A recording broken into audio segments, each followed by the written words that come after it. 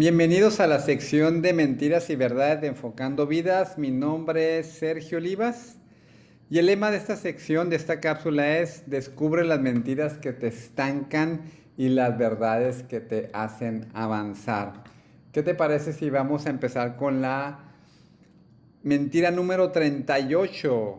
Dice, decide rápido aunque te equivoques, es mejor que no hacer ninguna la verdad que reemplaza esta mentira. Número 38 es, es tan importante tomarse el tiempo necesario como hacer la decisión correcta. Bueno, he estado leyendo en este tiempo este gran libro, te lo recomiendo, te lo recomiendo ampliamente, Actitud de Vencedor por John Maswell, experto en liderazgo más influyente en el mundo.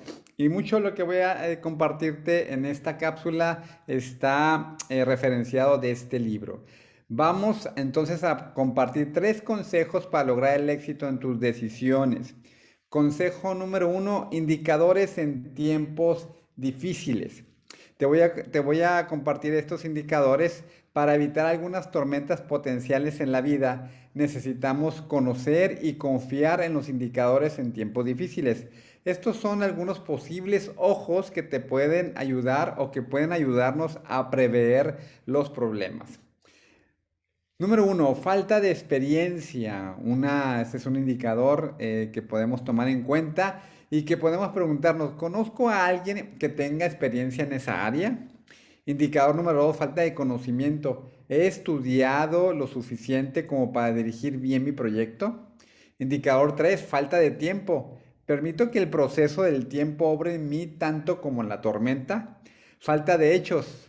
¿Los hechos reunidos me permiten tomar una decisión adecuada? Falta de oración. ¿Es idea de Dios o es mía? Y si es mía, la bendice Dios y la respalda con su manual de vida. Consejo número dos, decide en el tiempo correcto. Lo que hace una mala decisión tras otra, las hacen durante las bajadas de la vida. Tienes que aprender a esperar hasta que las bajadas pasen y entonces se sientan en lo alto de las cosas. Fíjate estas eh, afirmaciones bien interesantes. Una decisión equivocada en el tiempo equivocado es igual a desastre. Una decisión equivocada en el tiempo correcto es igual a equivocación. Una decisión correcta en el tiempo equivocado es igual a desaprobación. Pero una decisión correcta en el tiempo correcto es igual a éxito.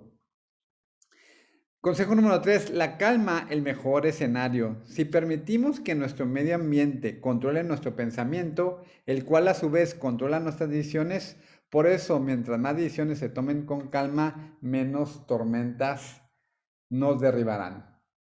Y vamos a cerrar con esta conclusión de la verdad número 38 Toma decisiones en el tiempo oportuno para evitar problemas graves en nuestra vida. Mi nombre es Sergio Olivas y síguenos en nuestras redes sociales como Enfocando Vidas.